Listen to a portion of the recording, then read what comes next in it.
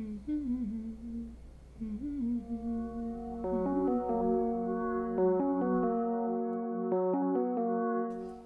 everybody, welcome to my channel.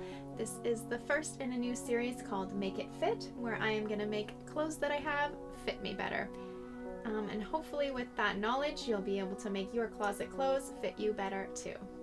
Um, today I'm going to be focusing on a shirt that I got that didn't quite fit me. It was a little too small, I'm going to be making it bigger using one of the most common methods and that is adding a gusset. I don't know how to end this video. Here we go. I have been looking for a top like this for a long time. Versatile enough to be worn open as a jacket, or do up the buttons, it's long enough to be a dress. Because I'd been looking so long, I didn't care that it didn't quite fit. Plus, making clothing bigger is always a requested video. I felt like I was gonna hulk out of it every time I flexed or stretched my arms. And unlike Bruce Banner, I don't have multiples of this. So, as with most projects, we're gonna seam rip to start. I'm opening up the side seam, following all the way up the arm to the sleeve hem. I went to the fabric store and looked for fabric that was the closest in color I could get. I got pretty lucky and also found something that was stretchy, because then I can hulk out even more. Don't worry if you don't find a matching color. Pick something else and have fun with it. Undo the hem and measure from it all the way up to the armpit and down the sleeve to the cuff. Make sure you catch those seam allowances making sure the stretch of my fabric went in the correct direction. I cut three strips, two inches wide. I did two inches because I only needed one inch added and then half an inch on either side for seam allowance. Yeah, math. Okay, quick fabric lesson. So, the edge of the fabric that is cut when you go to the fabric store and buy it is called the cut edge. Now the other edge is called the selvage edge, and that is tightly woven so as not to unravel for you. And all fabrics have a grain, a direction in which they are woven, and the grain line is always parallel to the selvage edge of the fabric. Another term is two-way stretch and four-way stretch. So normally two-way stretch only stretches actually in one direction, it's either from selvage edge to selvage edge or from the cut line across. But four-way stretch goes in both directions, both from selvage edge to selvage edge or across the grain. So the fabric that I purchased was only two-way stretch. So what does all that mean? Well, for me, I had to use the short side to make my strips to get the maximum stretch of the fabric. So what I ended up having to do was out of the three strips that I cut, I cut the third one in half. With right sides together, I pinned one short strip to one long strip. I serged the edges together, and then I stitched them together with half inch seam allowance. When pinning these strips to the shirt, I pinned right sides together, and I lined up that seam with the armpit seam. And then I continued to pin away from that seam, and stitched it on. I did the same thing with the other side of the strip.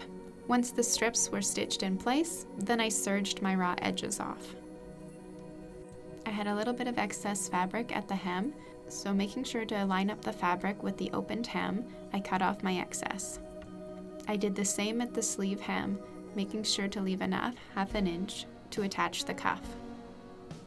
Next, I picked open the cuff a little bit more and unfolded that half inch seam allowance. I measured the length of the cuff, making sure to include the seam allowance. Now this cuff had interfacing in it, and since my insert is going to be stretchy, I'm not going to add interfacing. So it's going to be a little floppy in there, but that's okay. We're going to cut another 2 inch wide strip to the correct length of the cuff. With right sides together, we're going to pin the insert onto the cuff.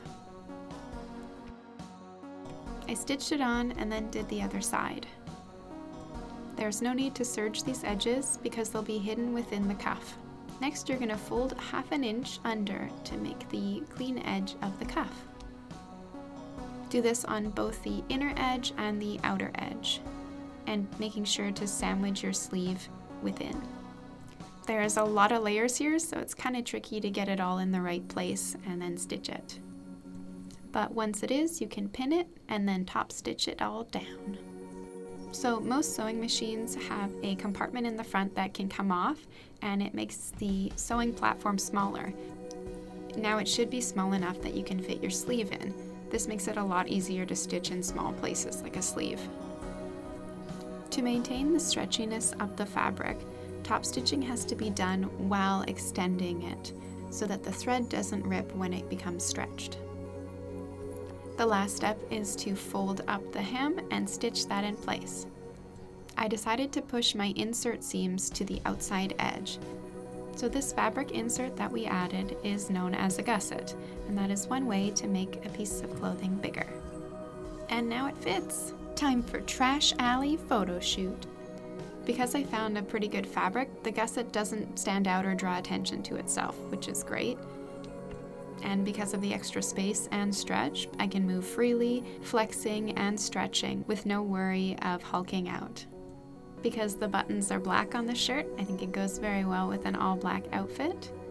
All these pieces are thrifted or from set sales. And my favorite part about this outfit are these new shoes.